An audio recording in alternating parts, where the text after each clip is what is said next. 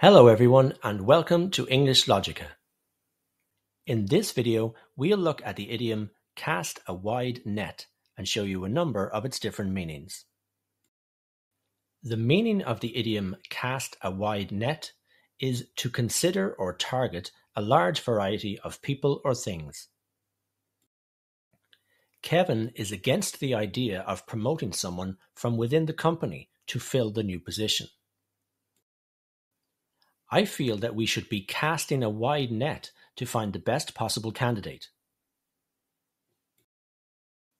The entrepreneur felt that she needed to cast a wider net to attract an investor, so she began posting videos online to showcase her business.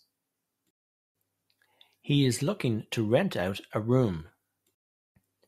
I asked friends and family if they knew anyone interested in renting my spare room, but I think I'll cast a wide net and put an ad online too.